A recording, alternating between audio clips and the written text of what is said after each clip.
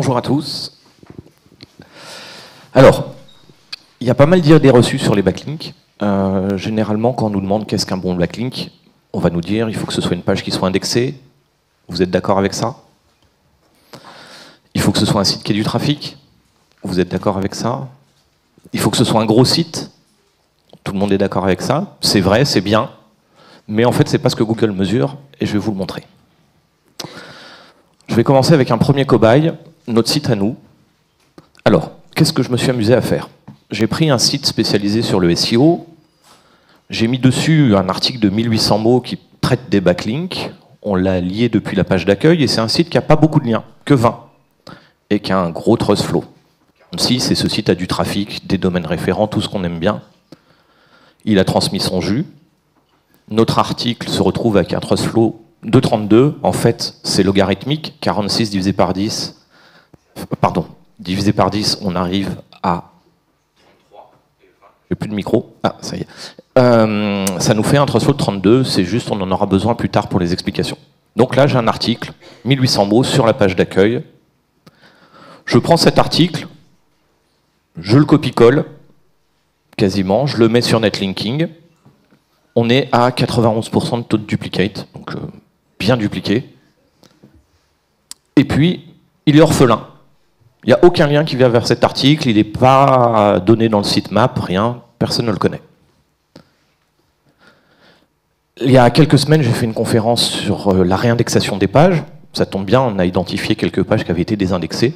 Je prends 10 articles qui sont désindexés, et ces 10 articles, je fais un lien vers cet article. Alors là, je fais vraiment tout ce qu'il ne faut pas. Contenu dupliqué et des liens sur des pages désindexées. Qu'est-ce qui se passe? Bah, Mon article est indexé. Alors la petite anecdote, j'avais préparé ça à la veille du SEO Camp, et puis j'allais tous les jours, et le site de points, il n'était pas indexé. Puis quatre jours après, Google me dit Ah ben si, ça fait quatre jours que je le connais. Voilà. Donc il le connaissait quasiment immédiatement, mais il ne me l'avait pas indiqué tout de suite. Et puis, c'est cet article qui monte sur des mots-clés. Voilà, donc j'ai du copier-coller, d'un côté, j'ai un lien qui est lié depuis la page d'accueil d'un gros site, et de l'autre, j'ai un article qui reçoit des liens de 10 pages désindexées, et c'est lui qui se positionne à la place de l'autre. Là, on vient de voir plein de choses. Un, vous avez besoin de recevoir beaucoup de liens. Deux, c'est pas parce qu'un article est désindexé qu'il ne fait pas passer de jus. Alors ça ne veut pas dire que tous les articles désindexés font passer du jus, hein, c'est pas ce que j'ai dit. Et puis, il est plus puissant et c'est lui qui se positionne à la place de l'autre. Autre idée reçue. Je prends un site, zéro partout, hein, pas de domaine référent, pas de mots-clés, pas de trafic. Je l'analyse sémantiquement dans Netlinking. Notre catalogue nous propose des sites qui sont proches sémantiquement et on va faire quelques petits liens. Premier lien, je vais faire un lien sur la page d'accueil d'un site pour lui transmettre de l'autorité. On la mesure avec le Trustflow de Majestic. Ce n'est pas Google, mais c'est l'outil qui est le plus proche de ce que propose Google. Et donc, ce site va gagner du Trustflow dans les sciences sociales, c'est un site sur la dépression. C'est le bon trust à mon avis. Et puis, on va publier des articles sur d'autres sites dans la même thématique. Voilà, deux articles. Donc je suis à trois liens vers mon site. Et regardons un petit peu quels sont ces sites.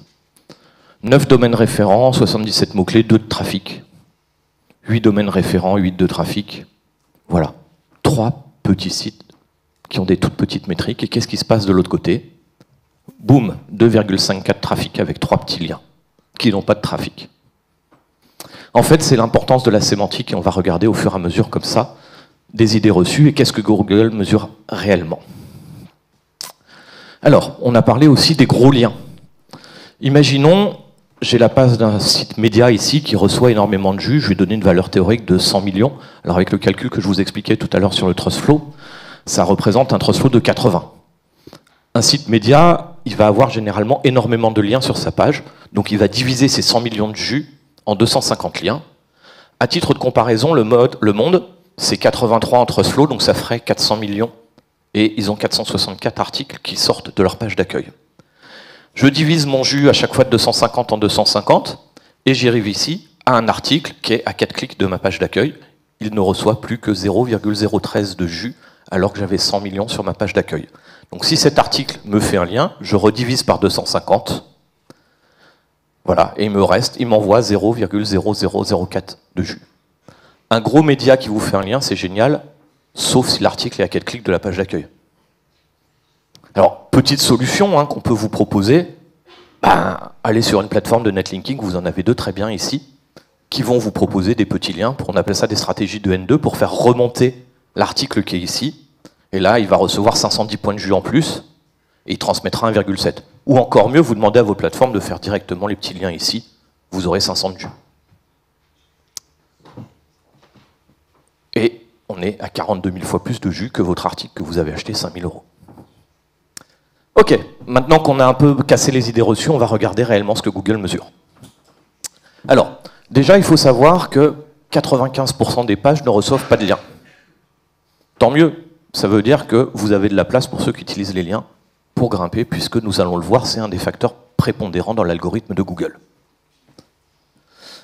Si je retire toutes ces 95% de pages qui n'ont pas de lien et que je regarde que celles qui ont des liens, et que je compare la position dans Google par rapport au nombre de liens que les pages reçoivent, alors c'est logarithmique, ici j'ai 1, 10, 100, 1000, je vous ai mis 50 ici, qui correspond à la moyenne du premier. Et on voit qu'effectivement, il y a une corrélation entre la position dans Google et le nombre de liens qu'une page reçoit.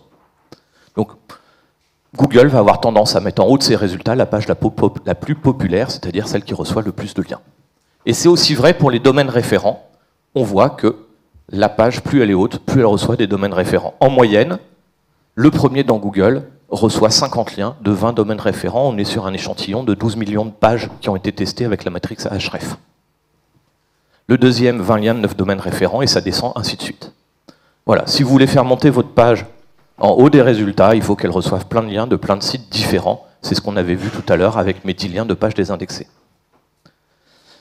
L'autorité aussi est très importante. Alors là, j'ai utilisé la métrique d'Ahref. On verra tout à l'heure que ce n'est pas la meilleure pour mesurer l'autorité, mais on voit avec cette étude que bah, plus une page est haute dans Google, plus elle reçoit de l'autorité. Donc, que mesure réellement Google? Il mesure le PageRank, la quantité de liens, c'est la probabilité d'arriver sur une page en suivant aléatoirement les liens sur Internet. Il mesure le topical PageRank, l'autorité, qu'on peut approcher avec le trust flow, on le verra, c'est pas tout à fait idéal, mais il n'y a pas mieux. Et la proximité sémantique, est-ce que les sites parlent de la même chose? Voilà les trois choses que Google mesure en termes de liens. L'avantage de Majestic, c'est qu'il nous propose une note d'autorité, une note de popularité. Alors, comment euh, cette autorité est calculée? C'est en fait avec la proximité des sites d'origine. Au départ, Google avait utilisé la donnée de Mose, qui était un annuaire validé par des humains. 5 millions de sites dans 1 million de catégories. Et si je mets les catégories de Mose et que je superpose les catégories d'Ahref, on voit que c'est exactement les mêmes. Ahref a tout simplement exploité en reverse engineering les brevets de Google pour nous proposer le trust flow. Voilà. Est-ce que le mois d'août 2018, ça vous rappelle quelque chose? La Medic Update. Là, vous avez le brevet que Google a sorti après la Medic Update, il n'était visible qu'en 2020. C'est pour ça qu'on n'avait pas les réponses de ce qui s'était passé. En fait, dans ce brevet, Google parle du vecteur d'interprétation d'un site. Et pour lui, un, site est interprété par trois grandes choses, des textes, des images et des liens. Là, on est en train de voir l'autorité finalement d'un site. Et Google utilise 620 topics classés dans 26 catégories. Majestic en utilise 800 dans 16 catégories ils ont changé leur topic, mais ils se ressemblent beaucoup. C'est pour ça que le TrustFlow marche toujours très bien, parce que finalement, c'est très similaire. Et la majorité des sites conservés au classement au départ sont les mêmes, même s'il y a eu des évolutions et que ce n'est pas parfait. Il y a aussi une notion d'étiquette, je la détaille pas trop, on est limité en temps, et c'est là où on avait les niveaux d'expertise qui ont impacté sur la Medical Update. En conclusion, celui qui va le mieux se classer, ça va être la page la plus populaire, c'est-à-dire celle qui a le meilleur citation flow, le meilleur page rank, provenant de plus de sites différents et qui va être dans un site qui fait autorité dans sa thématique, c'est-à-dire qui a le meilleur trust flow dans la bonne thématique, avec un trust flow citation flow équilibré, sinon c'est un problème de spam. Ces deux-là étant des contre-mesures pour justement éviter qu'il y ait de l'abus. Voilà. Deuxième cobaye, MyPoseo. Alors non, je ne vais pas vous torturer, c'est juste on va voir comment fonctionnent les outils, je vous ai déjà taquiné il y a deux ans. Alors, on l'a vu, Google, voilà ce qu'il mesure. Vous avez plein d'outils. Ces trois-là sont très bien, mais le problème, c'est qu'en une seule métrique, ils essayent de regrouper plein d'informations. Donc on le verra, ce n'est pas forcément idéal, même si c'est quand même correct. hein, euh, les outils SEO, on a de la chance d'avoir beaucoup de choses super. Majestic, eux, proposent deux métriques, et Babar, petit dernier, hein, français, lui va proposer trois métriques, et c'est le seul qui a une approche sur la sémantique. Alors, MyPoseo, je le passe dans Majestic. On voit ici le trust flow de 21, donc c'est un peu faible, faudrait que vous veniez nous voir, on fera quelque chose. Euh, à peu près bien thématisé, et le citation flow est de 42. Alors là, j'ai 21, en fait, qui est composé d'un 18 ici, d'un 17 ici, on voit que le 17 fait la moitié de la taille du, 21, du 18 d'ici. C'est le côté logarithmique des données. Donc 21 et 42, vous voyez le déséquilibre entre les deux, on en reparlera pour comparer les outils. Et ils ont vu, pardon, j'étais un peu vite, mais ah, désolé pour ceux qui nous regardent en ligne, euh, 108 domaines référents selon Majestic. Sur Babar, host value 80, host trust 40. Vous voyez, on est dans le même déséquilibre, le même ratio, la moitié à peu près, parce qu'ils calculent différemment, euh, mais on est toujours sur des valeurs de euh, sur 100. Et cette sémantique value qu'ils viennent rajouter, donc là qui est très fort, bravo à, vous. Et puis, ils ont un, indice de synthèse qui peut être un bon indicateur pour vous pour vérifier si un lien est bon, euh, puisqu'il regroupe un peu toutes ces données. Donc si on devait prendre qu'un indice tout seul, ce serait peut-être celui-ci le plus, le plus pertinent, le BAS de Babar. Et eux, ils voient 286 domaines référents. Chez Ahref, eux, le domaine rank, c'est 61. Donc vous voyez, on a des données qui sont complètement, on part de 20 à 80 jusqu'à 60 ici. Alors ça, c'est pas une super campagne de netlinking, hein, c'est simplement les blogspots qui vous piquent des images. Euh, c'est la mode en ce moment, enfin la mode. Alors, allez pas cliquer dessus, il y a des saloperies et des virus, mais ça change à rien sur le netlinking. Et eux, ils voient 900 domaines référents justement parce qu'il y a plein de blogspots qui leur ont piqué du contenu ou des images. Chez SEMrush, ici on est sur un score de 40 et eux, ils voient 1000 domaines référents. Alors, faut pas chercher l'outil qui vous voit le plus de domaines référents, faut chercher l'outil qui vous donne les meilleures informations. Et puis, euh, SEMrush, il vous parle d'un super truc, c'est le score de toxicité. Ça fait peur. Hein. On vous dit toxicité, ça y est, vous avez des liens toxiques, votre site il est mort. Un lien ne transmet pas de pénalité. Au pire, il sert à rien. Donc, c'est dommage que la traduction ou le mot qu'ils ont choisi euh, fasse aussi peur. Et puis, bah, des fois, il y a des choses qui sont bizarres. Là, par exemple, alors c'est pas à moi, hein, ce site qui est ici, euh, ils ont un réseau, donc domaine, euh, ils disent que c'est un réseau de sites, et là, il y a 12 276 domaines qui partagent le même idée Google Analytics. Donc c'est comme ça qu'ils identifient.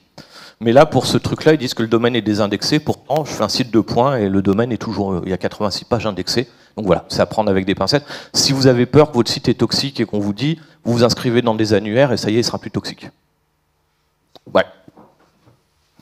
Euh, autre exemple, où ici, là, c'est un réseau de sites avec trois Google Analytics. Alors, SEMrush est un super outil, je suis désolé de leur taper un peu sur les doigts ici sur, ce, sur cet indicateur.